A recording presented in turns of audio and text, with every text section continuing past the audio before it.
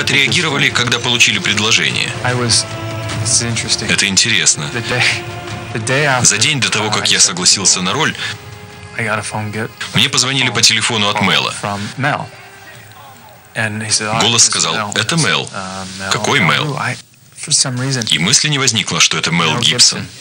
Для меня Том Круз, Мел Гибсон – такие имена неотделимы от фамилий. Да еще думал о чем-то своем. Мел? Какой Мел? А он начал говорить о фильме. А потом начал отговаривать от роли. После того, как он предложил вам роль, он пытался отговорить от нее.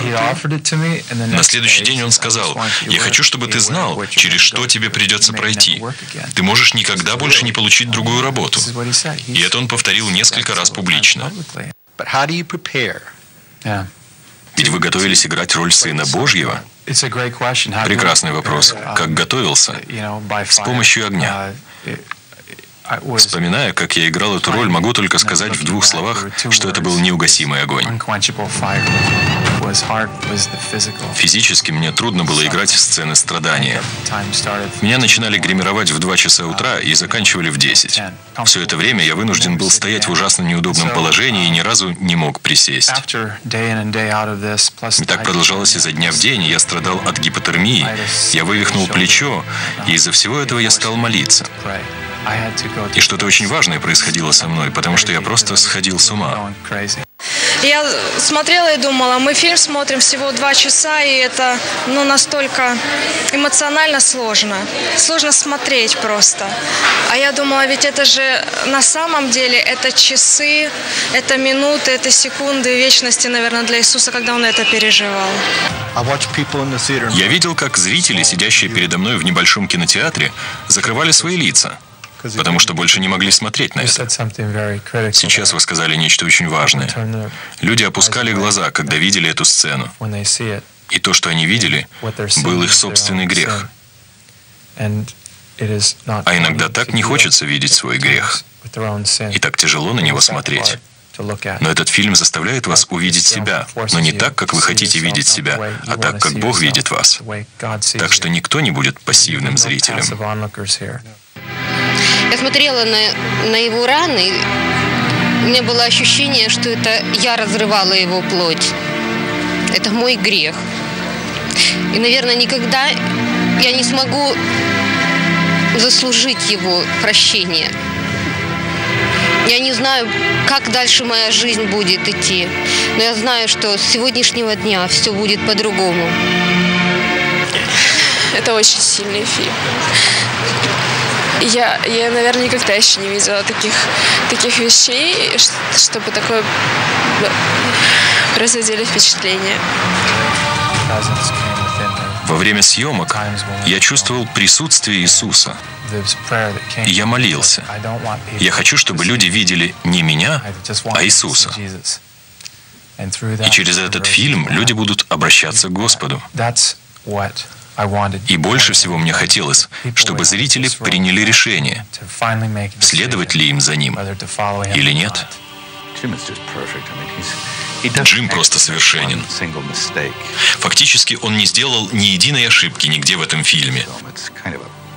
Эта игра своего рода была совершенно безупречной. Он просто был. Вы не видели его играющим. Он просто был. Он был Иисусом.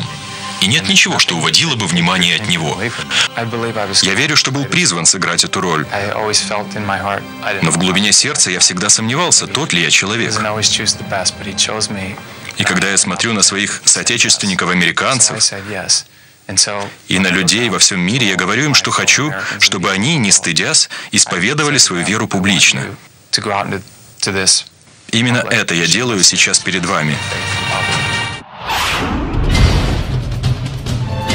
Благая весть. В Библии говорится, что все согрешили и лишены славы Божьей.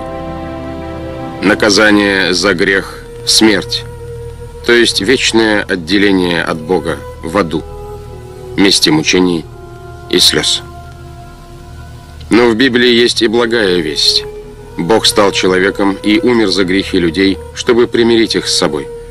Всякий, кто покается, обратится от своих злых дел и уверует в Иисуса Христа, примет Его Спасителем и Господом, будет спасен. Иисус полностью заплатил на кресте за грехи мира и предлагает всем принять дар вечного спасения. Мы не можем заработать спасение добрыми делами. Библия говорит, что перед Богом вся наша праведность как запачканная одежда. Многие считают, что нужно быть просто хорошим человеком, регулярно бывать в церкви, и тогда Бог пустит на небеса. Но в Библии сказано, что согрешив хотя бы однажды, человек становится виновным в нарушении всего Божьего закона и должен быть осужден на вечные муки в аду. Именно поэтому только совершенно безгрешный Иисус смог заплатить за наши грехи. И именно поэтому мы никогда не сможем заработать спасение своими усилиями. В Иисусе исполнились сотни предсказаний пророков о пришествии Мессии, Его воскресении из мертвых, которое свидетельствовало о том, что Он Бог, и проклятие смерти не имеет над Ним власти. Бог так чудесно все устроил, что нам только остается принять Его дар по вере. Библия говорит, что если устами будешь исповедовать Иисуса Господом и сердцем веровать, что Бог воскресил Его из мертвых, то спасен будешь.